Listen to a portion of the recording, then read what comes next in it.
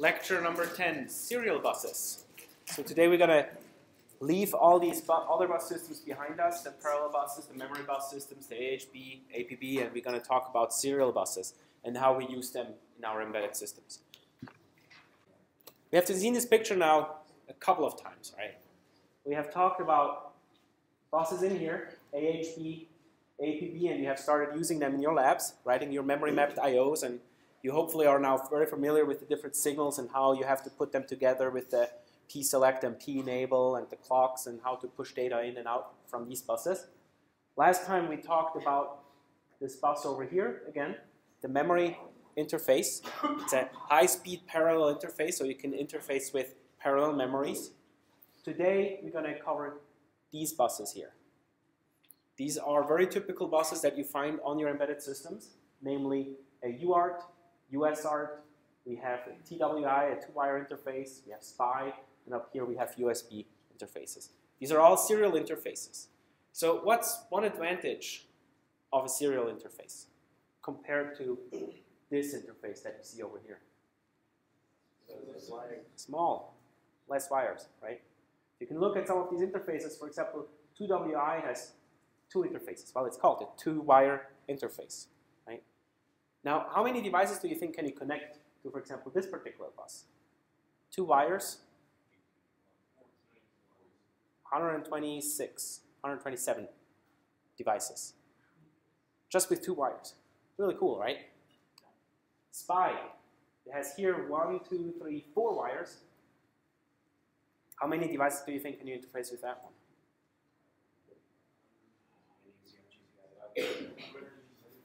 many as you have GPIO pins is actually the right answer. The problem is SPI, and we will see that in a second, has a chip selector. So if you look on here, one of these lines is uh, actually four lines, so that's a chip select, to select one particular chip. So you can, as many chip select lines that you have, as many different peripherals can you hook up to this, this case, three-wire interface itself. Okay, so today we're going to cover UART, SPI, I2C, and a little bit of USB. Unfortunately, we won't go into details details of USB because it's a fairly complex system, but at least we will give you a little overview of what USB is all about. So first, UART.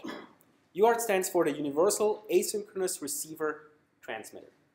Key here is asynchronous. What does that mean? No clock, we have to have a handshake. Okay. So let me show you what UART is doing, because UART has a certain handshake exam. And in order to do a handshake, and he kind of hinted to it, right, the master raises a line. So what implies is that the line is by default low, right? In UART, it's exactly the inverse. If you probe a UART line, by default, the line is high. And then the indication of a start of sending a byte from one end to the other is when the line gets pulled low for one bit. That's what's called a start bit. Always logic zero. So by default, the UART line is high. As soon as it gets pulled low, the first bit has to be a zero, and it's actually not really data. That's what's called a start bit. Next come five to eight bits of data. It's configurable. Um, most of the time it's eight bits, but you can have less bits in UART if you want to. Then comes a optional parity bit, and then a stop condition. Anybody know what parity means? What the parity bit is?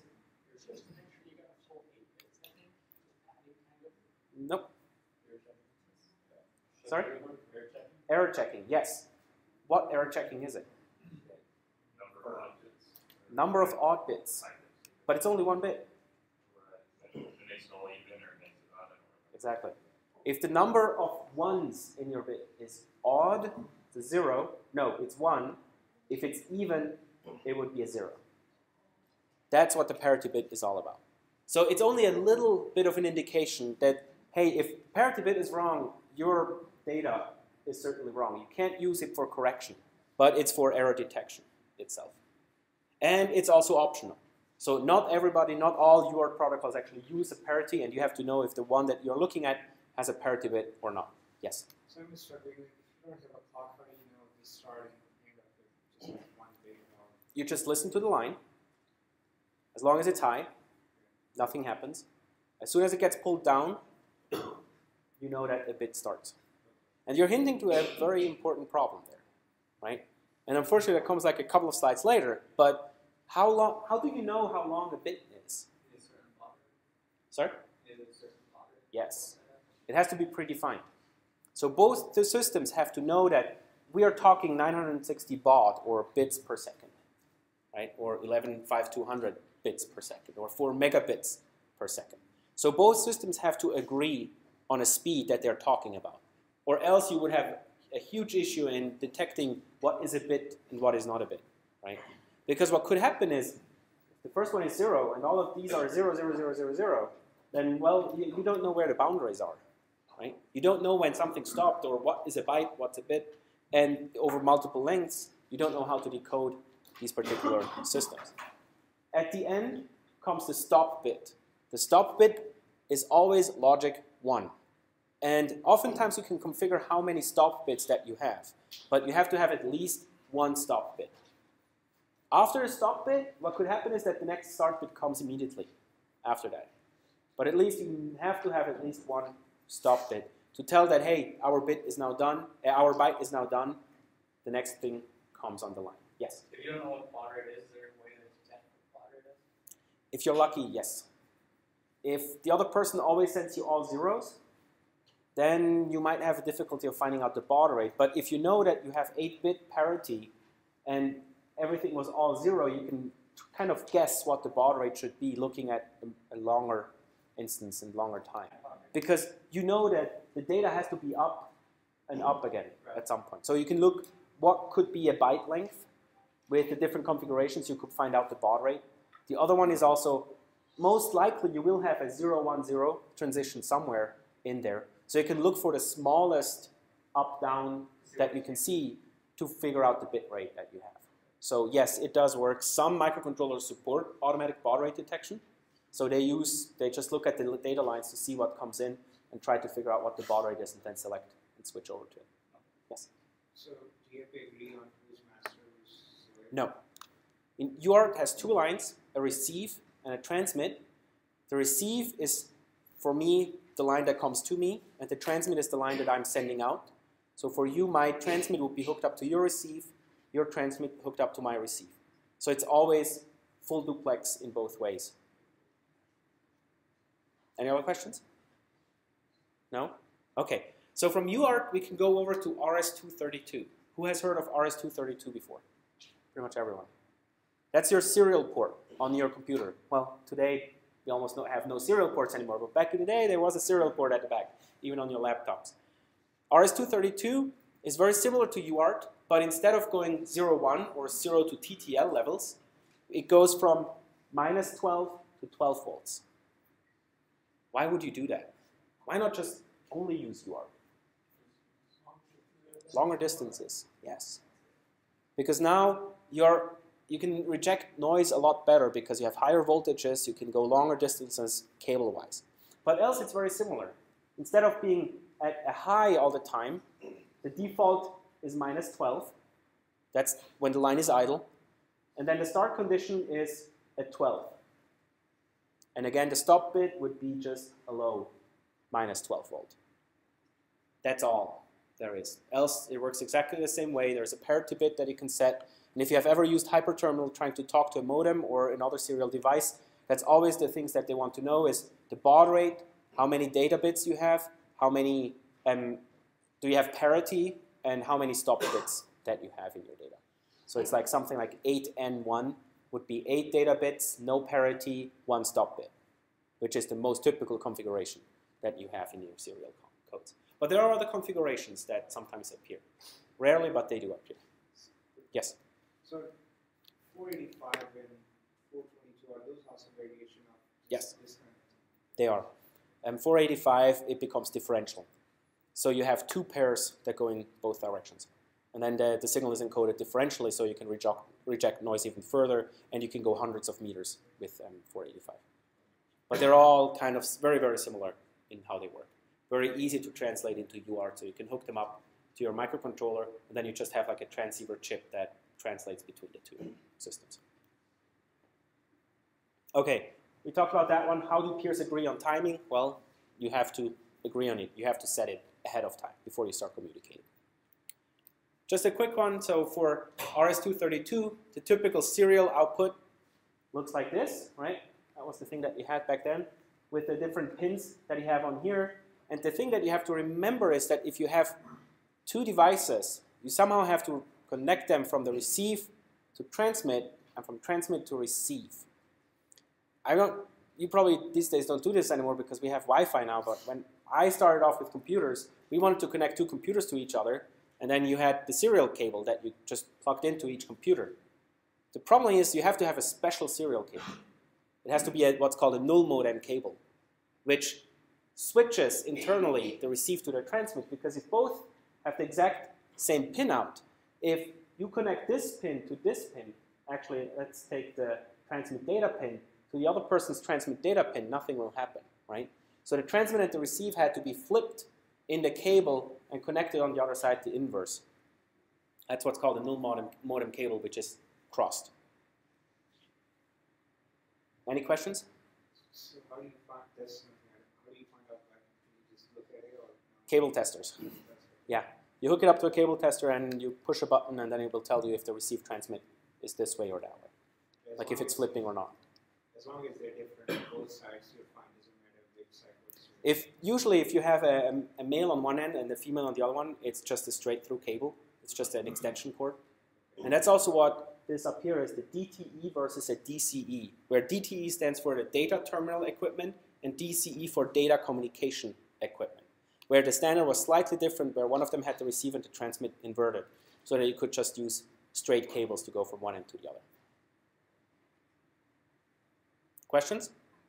Yes? So why does RS-232 have so many more pins? for more signaling. So UART really only has a receive and a transmit. RS-232 has a data carrier detection, it has a data terminal ready, so just more indications to the other side telling you, hey, I'm really ready to receive something now or not. So if I would give you a trace of a signal going up and down and up and down, could you decode it with this knowledge? Could you figure out what's going over the cable? Yes? Yes. because it's what you have to do in lab number six, I think, where I will, where, where you'll get a magic image that you'll put into your FPGA, and then you have to figure out what actually comes out on the pins and decode it. So it's kind of fun. Alrighty, SPI, slightly more complicated in principle because it has, doesn't have just two wires, but SPI stands for Serial Peripheral Interface, and it has four or more connections. Three of them are the most important ones. That's the clock, a MOSI, a MISO, and a chip select line. From this, you can already see that SPI is a synchronous protocol. You have a clock that gets distributed, which makes the implementation a lot simpler. Because now you have a clock signal, you know exactly what's happening. There is one problem though with SPI, and that it's not a standard. SPI is not standardized, so there are a lot of different variations on different on differences in SPI protocols. However, the advantages of SPI is that it's extremely fast, and it's widely used in a lot of different chips where fast speeds are necessary, but at the same time, you still don't need a high pin count, a high pin count to actually talk to a device. So how does it work? It's a four-wire communication bus. Um, it's typically used across very short distances. So, for example, on a PCB to connect a radio to a, a microcontroller. It supports one single masters and multiple slaves. The synchronization is clocked, so the master outputs a clock to all the slaves so that they can actually decode and tell back a, data, a signal of what the slave wants to tell to the master. It's full duplex. What that means is that every time you write something onto the bus as a master, you will also receive something from the slave. It's always bidirectional. There is no just a master sending only one thing and then the byte comes later on. So it's always full duplex. Can have multiple megabits per second, so clock rates can go from zero up to like 50 or 80 megahertz, which is not too uncommon. The transfer can have 4 to 16 bits, so you can have, usually you have 8 bits, but sometimes you have more, and it supports multiple slaves. The wiring, four wires, per slave that you have. MOSI, which is, stands for master out, slave in. MISO stands for master in, slave out, so which is the other way around. Then you have SCLK, or the slave clock, and SS or CS. So SS stands for slave select, sometimes also called CS for chip select. The main idea is that a master node selects a slave and then starts communicating with it using the clock signal. What's the difference between this? Oh, okay, just spelled out on what the different signals are.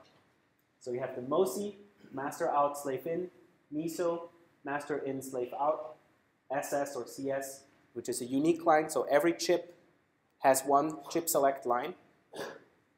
SCLK, again, the clock line goes from a master to all the slaves, so they all share the exact same lines. The implementation of SPI can be extremely simple. In principle, all it is is two shift registers, one on the master, one on the slave.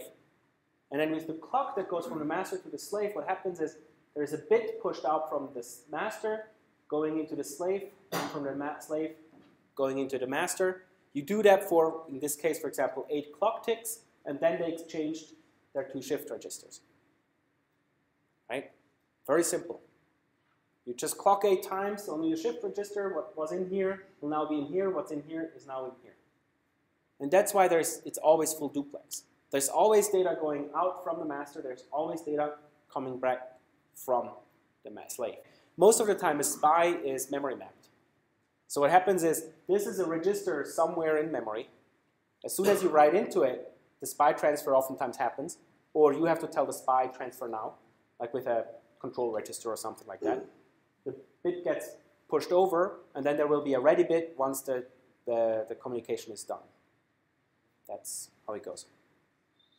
Okay, lots of questions right now. Yes? How come you don't have two buffers or set you know, registers on master and set most likely there in the actual implementation, yes, that's probably what happens. There will be shadow registers and all kinds of stuff. But in principle, it's just two shift registers. That's the most simple implementation you can do for it. Yes? So, depending on the system that you have, if you're the master and you don't care of the slave, you're sending back using more? Yes. Or the other way around. If you sometimes just want to read from it, all you do is you pump data over zeros, for example, and you're only interested in what you get back. But the key is that there's always a byte that goes over and always a byte that comes back. Sometimes you have to ignore them or just send stuff over that's empty. But you have to write something in order to receive something from it, which will be significantly different from what we see in a second. Yes? You have to worry about the propagation delay. Propagation delay that's mostly most of the time the problem that you can go too fast and your device cannot understand you anymore. So yes, but usually the data sheet of the device you want to talk to will tell you what the maximum speed is that it's rated at. And then you have to configure your clock to that rate. But there is another thing. Remember, this is not standardized. What types of clocks can you have in your system? Rising edge, falling edge. The clock can be active low, active high, or a passive low, passive high, right? As in UART, in UART, the definition was, well, if the bus is idle, the signal is high. Here, there is no standard. So, in theory, there are four different ways of what the clock signal can be. And that's sometimes the tricky way of, the tricky thing you have to do and deal with in SPI. You have to go read the data sheet, understand what the clock has to be for this particular data sheet, you then have to generate the right clock and push the data out the right way. Let, couple of slides, I will explain this in more detail. Okay, architectures. There are two main configurations that you can have. So on the left-hand side, this is the very typical architecture where you have one master node, multiple slaves. They all share the clock line. As you can see, the clock line is distributed to each and every one of them. MOSI line gets distributed, the MISO line gets distributed to everybody. And then you have a chip select line for each one of these nodes. There is another mode, and it exists. I have never seen it in reality, but here's a Maxim data sheet, which have one microcontroller where the MOSI gets connected to the slave, which has an input and an output, and then the data gets clocked through these particular chips. So it gets goes from the in to its out, from its in to its out. Works similar, but there is actually no feedback that you get back from them. So it's just a one-way bus in this particular case. And again, it exists. I have never really seen it in reality, but sometimes you look at something and you're like, oh, wow, what is this? It could be just a very simple SPI protocol. Yes? It probably is. So what probably happens is that every bit that comes in on the next clock edge, it goes out. And so you just select all of the chips and pump it through the whole system until it's at the end over here. And then everybody received all of the data. More like the neighbors. Yes. Mhm. Yes. Here we need uh, to have more than four uh, wires in uh, SPI maximum. There are four wires on the receive on the slave side. On the master side, you have three plus one for every slave, which is usually a chip select line. Yes. I was just about to say that. In theory, some of the microcontrollers they actually have a special mode where all the chip select lines you can uh, switch them into an encoder mode so that you could have, for example, here a 3 to 8 encoder on the outside. So you would have here a chip that takes these three as input and then generates has um, eight output lines. So with just three chip select lines, you can control up to eight different slave devices. That exists. Okay, so clocking of a SPI. As I said, there is no real standard. And what you have to deal with is that there are two different phases, right? Like you can be sensitive on a rising edge or on a falling edge. In addition to that, there are two polarities where you can have inactive in passive low or passive high. So there are four different configurations of clocks. And you have to know what your slave device is understanding in order to generate it on the master appropriately. So once you have multiple slave devices, what happens is if they're all different and use different encodings, you basically first configure your clock for the slave A. You select slave A with the chip select line, do a transfer, deselect slave A, and then if you want to talk to slave B, you have to reconfigure your clock system, select slave B, do the transfer, and then deselect B. So oftentimes, if you have multiple different no, slaves with different kind of clock, necess- um, clock requirements, you have to reconfigure your clock system before each and every transfer. This is how these three different clock polarities look like. We have clock polarity 0, phase 0, passive low, and the system wants the data on a rising edge. The other way around, which is the more common one, where we have the polarity 0, phase 1, again passive low, but the slave device now clocks this data in on the falling edge. Right? This is very simple to deal with. On the master side, you clock it out on the rising edge, and your slave device will clock it in on the falling edge itself. So output on rising, reading on falling edge. Now you can have these both systems and just flip them around in polarity. Passive high, reading on the falling edge, or passive high, reading on the rising edge. So these are the four different clock modes that exist in devices. Yes? Can you explain that a little bit more? The passive low, passive high. Passive low, passive high means that if there's no chip select, the clock will be low. Or if there's no data happening, clock is low by default. So that's what's here in the front. If there's no transfer, clock is low, right? In these two here, if there's no transfer or no clock signal happening, clock is high. Make sense? That's all there is. It make a lot of difference? It doesn't seem like that matters a whole lot if you're not doing Um, it matters on the polarity then later on. So basically, the, the key is that for one of them, for the polarity, as you can see, if you are um, active low, no passive low, and have a zero polarity means that the slave reads on a rising edge. You now have to output your data ahead of time, but there's not really a clock signal, so that can be slightly trickier to implement. That's why this mode is the most common mode, where most devices will have this particular mode. So you just de- declare it as uh, clock phase 1, polarity 0. You output at the rising edge, and the slave reads at the falling edge. And then you do it that way until the end. The transfer is over, usually, after 8 bits. But you can imagine that you can do it the other way around, where the clock is inverted, right? So the one down here where now you output on the falling edge and you read on the rising edge itself.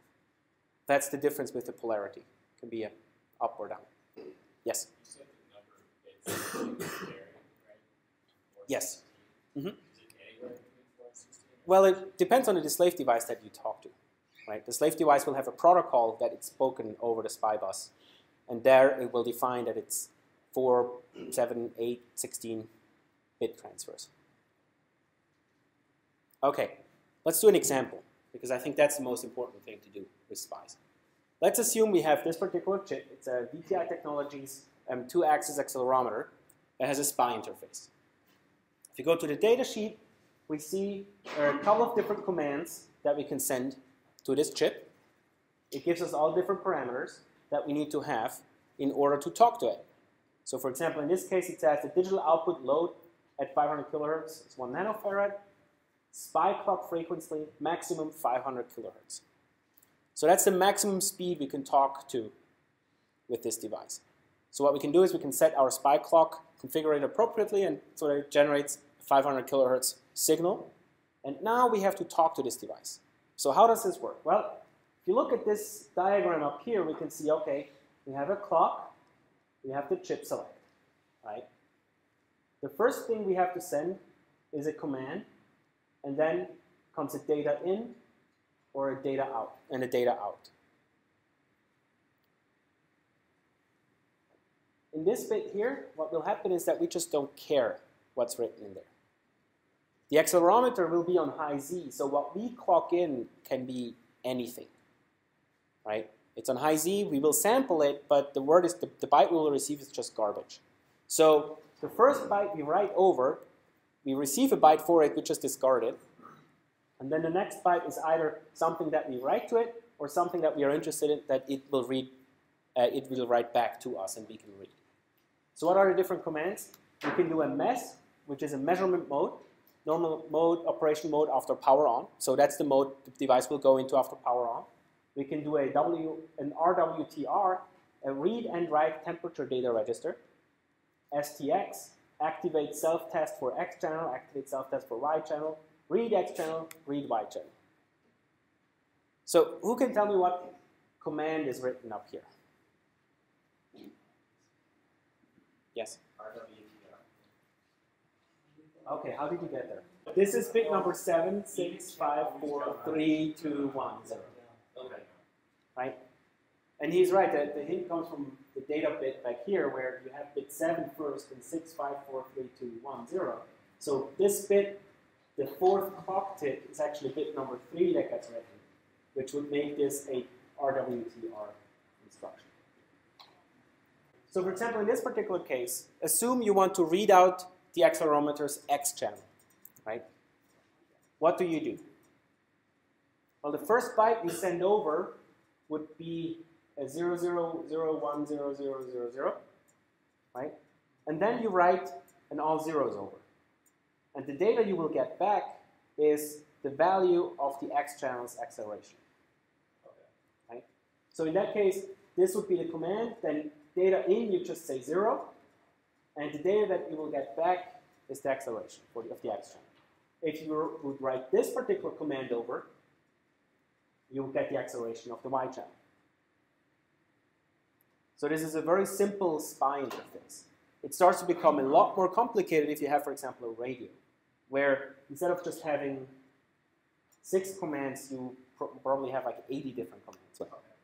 Protocols are very specific for a specific SPI chip. And every, and every SPI device has usually its own protocol on what the different commands mean or anything else. So it's, it's really, you have to go and look at the data sheet to understand. And then basically, based on the data sheet, you write a driver that can talk to a specific SPI interface. But so in this case, if you have a SPI device or a SPI sensor that you want to interface with, it's extremely important to actually read the data sheet of this device because the data sheet will tell you what bits and bytes you have to send to the device to configure it right in order for it to do the purpose you want to do with it. Okay, so a couple of pros of SPI. I mean, it's extremely fast point-to-point -point protocol. So as you said, you saw you can go up to like 50 megahertz. That's fast for a serial protocol, especially on your small little um, distances that you have. It easily allows streaming of data. As you can see, like every time I send something over, I get something back. So you can be very fast in getting data from a device. It has no addressing. The addressing is done using its own chip select line. Are you looking for a calculator? Okay. Um, it's very fast, um, and it's broadly supported. There are a lot of different sensors out there that are have SPI interfaces. There's memory out there at SPI interfaces. There are LCDs with SPI interfaces. Almost all radios I know of have a SPI interface mode to actually talk to them. So it goes very quick. Um, cons are you do need a slave select line. So if you have a lot of devices, it can become cumbersome to actually do and deal with it. There is no acknowledgement. You never really know did the device actually understand me and did it receive the bytes that I sent over. There is no arbitration. As you saw, like the multiple lines are shared between the slaves. It could happen that two or three slaves by mistake write into the same lane, uh, line, and that's a problem. You have two devices that are fighting now each other. And there is no flow control. So you have to make sure that the slave can really keep up with what you're doing with it. Or else there's no acknowledgement. It, doesn't never, it will never tell you that, hey, you're overloading me it will just come garbage out of your system and then you have a problem and you have to deal with it somehow in software. A couple of peripherals, as I mentioned, LCDs, lots of sensors out there that have SPI interfaces, radios, and many, many more. So accelerometers, gyroscopes, other IMU sensors. Sometimes you actually hook up two different microcontrollers over SPI. You have one microcontroller in SPI slave mode, the other one in SPI master mode. Now you have a very fast protocol between the two to talk to each other. Okay, I square C. So we saw SPI, nice synchronous protocol, fairly easy. In principle, just two shift registers. Now we will talk about one that's a lot more complicated. As Enid just told before, um, I square C, pronounced I square C, um, sometimes called I2C, but less often it's really most of the time I square C. It's a two-wire serial bus, and it was invented in, 19, in the 1980s by Philips, now part of NXP. It was patented protocol, so you could not just use it. And with that came a lot of restrictions on who actually used um, I2C. The patent by now has been expired, but it's still licensed, so or trademarked actually. So you can still not just use I2C in your datasheet and on your chips. That's why oftentimes instead of naming it I2C, they call it two-wire interface. It's the exact same thing, but they avoid the trademark. So originally, I2C was used by Philips in television sets. Um, now extremely common for sensors because it's a really convenient protocol. It only has two wires, and you can hook up up to 127 um, different devices on it. The intended use um, is for embedded systems, so Philips, National, Xerox, uh, Xicor, Siemens, and all many different manufacturers use it. And it's actually also used in your PCs. If you have ever heard of the SM bus, that's basically a deriv derivative of the I2C bus. Many of the sensors in your, on your motherboards are hooked up to the SM bus, and that's an I2C bus system. It works very similar to the I2C bus system. The architecture is completely different from what we have seen before. There's just two wires that go from every device to every other device. And the two wires are a clock line and a data line called SDA or SCL or SCK. So SCK for uh, slave uh, serial clock or SCL, like it's just a slightly different nomenclature. But it's SDA and SCL. So what's the problem with this? We have two wires. One is a clock line, the other one is a data line. And you have a whole bunch of different devices that are hooked up to these two wires. Yes. Right? Question is who is talking on the bus? So you have to have some sort of bus arbitration, making sure that not everybody starts talking at the same time on the bus, or else you have fighting devices trying to drive the bus. And Philips had a really neat idea on how to deal with that. What they said is that, well, everybody on the bus can only pull the line low. nobody is driving the bus high. Driving the bus high works by two pull-up resistors that will always pull the line high. So as soon as everybody lets go of the line and nobody's driving the bus, the line will go high automatically because of the pull-up resistor. As soon as somebody is driving the bus, it bus gets pulled low, and other people know somebody's actually driving the bus. So there's no fighting on the bus because everybody can only pull the line low. If two people pull the line low, no problem, right? I mean, sure, there's still maybe a conflict that both of them want to use the bus, and there is an arbitration on how to deal with that that I will show you in a second. But there will never be two people, one trying to pull the line down, another one pulling, trying to pull the line up, because the pull up is done by two res uh, resistors that are sitting there. Okay, so we have a line a pull up resistor. What could be the problem with this? So if you have a line on a PCB, right, and a resistor that tries to pull it up, assume somebody pulled that line down, and I now let go of that line. What happens with that line? Like if you look at, look at this line on an oscilloscope, will this look like this? No? What will happen? What, what is inherent into this? We have a resistor and we have a line. There will be some ringing, but basically it's an RC network, right? The line is a C, there's a certain kind of capacitance on that line, and you have a resistor trying to pull this line up to high. So it's basically charging that line. So what will happen is that this line will look something like this. This is, oftentimes it goes sharper than this, but if you look at it and zoom in on your scopes, you will see the line going up like this. What will define how fast this line goes up there? The resistor value. So the bigger the resistor value, the slower, right? And the size of your traces. Sorry? And the size of your traces. And the size of your traces will define the capacitance that you have on your traces, yes. Right? But once you have your lines, the only thing you can change is the resistors. And what you want to have is a slow enough resistor that these lines get pulled up as fast as they can. But you don't want to be too small because the smaller they are, as soon as you start pulling that line low, there will be more current flowing through that resistor. So most of the time you are in the couple of tens of Ks, like 10K, 5K to 100K, depending on how fast you want to go.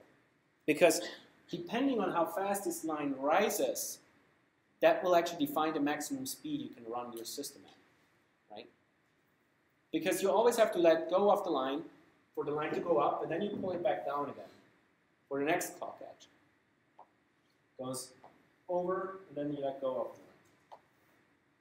So the faster this line goes up, the faster you can actually schedule these clock ticks themselves. And that's actually one of the limitations of I square C. So speeds can go up to 3.4 megabits per second in the standard, which is extremely fast. Most of the time, they will go to 400 kilohertz. That's kind of what most I2C devices will support. But there are some I2C devices that go up to higher speeds. The other thing is you can have multi-masters. So there's not just one master on the bus, there can be multiple masters, and you can have multiple slaves. And the protocol just becomes a lot more complicated because now you have to have bus arbitration, which we'll cover in a second. All right. Any questions so far? with I square C. Yes? How can it be implemented so your device never attempts to pull the line up? An open collector buffer. Good question, very good question. It's not easy.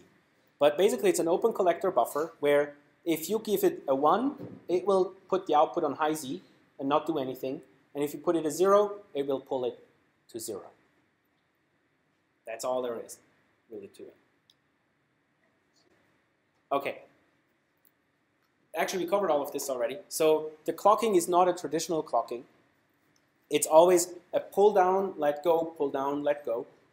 But in addition to that, a master or a slave usually puts out its clock, and if the receiving end cannot keep up with it, it just keeps the line low. So the master knows that, oh, the slave is not ready yet, and has to wait until the slave actually can let go of the line too. there's a nice way of how you can do flow control now, right? So the master is pulling the line low, let go, pull low, let go. And when you pull lows and let go, and after that the line stays low, well, it has to wait until the line reaches high again. Because the slave wasn't ready yet to receive the next bit. So it's a really neat way of dealing with this. I2C transactions work as follows. There is a transmitter, receiver, which differs from the master slave from before. So an I2C is somebody that transmits somebody that receives. Or uh, somebody, yeah, yes. And they can flip direction in between the transaction itself. So what happens is that the transmitter sets the data on the data line and the slave acknowledges. It. So in this case, it would actually be the receiver acknowledges it. So there is a transmitter and a receiver, and there is a master and a slave. Okay? So the master on the bus initiates a transaction. And the slave is the target of this particular transaction. But because we only have two wires and one shared data bus, sometimes the transmitter and the receiver switch roles between the master and the slave. So initially, the master will initiate a transaction, write something to the bus, and the slave will receive. Depending on if it's a read or a write, the slave will then transmit on the bus, and the master will receive. If it's a read from a slave, if it's a write to the slave, then the master will keep transmitting on the bus, and the slave will keep receiving the data. Did that make sense? Yes? Because it's a shared bus, you have to transmit and receive that shares and switches sometimes. Okay. Initially, to start a transaction, since the bus is always high because of the pull-up resistors and everybody has an open collector, there is a start condition. The start condition is when the data line gets pulled low, but the clock is still high. That's what's called a start condition. After the start condition comes seven bits of address and one more bit indicating if it's a read or a write, and then one more bit of acknowledgement. How does it work? The master puts out 7 bit of an address. The slave who has that address will hear that, start knowing, okay, this transaction is for me. It will look at the next bit, which will decide if this is a read or a write transaction. So it will either receive more data from the master, or it will start driving and pu pushing the, the bus. And then the acknowledgement would be a bit where the slave pulls down the line, telling the master that, hey, I received your data, we can keep going. If the acknowledgement doesn't happen, the master knows that this particular address either doesn't exist on the bus or wasn't ready to talk to me and it has to try it again on a later point. The data transmission is very similar as before. It's 8 bits with a ninth bit of an acknowledgement. So what happens is it goes from most significant bit down to least significant bit, and then one bit of acknowledgement, which the receiver will always pull down. So for example, if it was a read from a slave device, right? Now the master has to pull down the acknowledgement, telling the, the slave device that, hey, I received this byte. Make sense? Okay. At the end of the transaction, what happens is that the master pulls the, S, the, the clock line high while the data is still low. And this particular condition will tell us that this is either an abort of the transaction or it's the end of the transaction, how it happened correctly. So there's a start condition, address, read write, acknowledge, data, acknowledge, stop condition. So what we have is SDA is high, SCL is high. Remember, it's an open collector system. They're always driven high due to the fact of the pull-up resistors. A master pulls down the data line while the slave line is still high. That's basically a sign to everybody else that, hey, something is coming on the bus, we should better start listening. Next comes 7-bit of address. The 8-bit will be a read or a write, so it's either a high or a low telling the slave that I want to read from it or I want to write to it. What this bit indicates is that the next byte over here is either driven by the master or it's driven by the slave. Right? Then comes the acknowledgement, which will be pulled low if the slave actually received my request. And then in the next transaction comes the data, again with a ninth bit of acknowledgement. And then at the very end comes the stop condition. Yes? Oh, what kind of devices accelerometers, real-time clocks. Um, what else is there? Some flash. LCDs sometimes have. So, for example, the LCD that you have on the um, Smart Fusion, that OLED displays an I2C device, is hooked up as I2C. So, So in our upcoming projects, anything that we want to do in a real-time environment? uh, sometimes, yeah, temperature sensors. Many digital temperature sensors use I2C because basically everything that and everything that doesn't need a super high data rate, right? Like a temperature sample, you usually don't want it more than once per second or even slower. So I2C is perfect for that kind of de- device. Yes. Here, how does the arbiter work? I mean, that's for example, The addressing? arbiter, yes. Oh, the arbiter. Okay, good one. I actually forgot about that. Um, since you can have multiple masters, how it works is if two masters try to catch the bus at the same time, well, the first one is you know if a transaction is going on, you have to leave the bus alone until you still a stop condition. But assume two masters, by chance, send out the start condition at the exact same time. The rule is that the person that talks to the lower ID gets the bus. Remember what happens. You, they put both out an address over here, right? At some point, one of the two probably wants to let go of the address line to get write a one in it, which would be a higher address, and the other one just keeps it low. As soon as he sees that somebody else is actually driving the data line, that master has to let go and give the bus to the other guy. But usually the person that lets go of or wants to let go of a line and sees that the line doesn't go back up, it, he backs off. Yes. So when you pick out an I2C device, it looks like you have to coordinate with the system. Yes. What you have to do is so that's the nice part about it being a standard because Philips assigns you an address. So when you basically that was part of the licensing agreement and the, the royalty fees that you pay to Philips, they assign, for example, Texas Instrument a certain address at the top. And then Texas Instrument had a couple of bits at the back that they could use for different devices, right? And then oftentimes, since sometimes you want to have more than one temperature sensor, that's the exact same temperature sensor, so they are come they, they don't come with a completely pre-programmed ID, but they have a couple of I/O lines that you can pull up or low, up or down to define the last two bits, for example, of the address, so that you can have the exact same chip but change its address in the last two bits. So yes, you, you, you as a designer of your hardware have to make sure that there are not two devices with the exact same address sitting on the bus. Okay, let's do USB next time because it's a fairly complicated um, bus system. Okay, that would be it.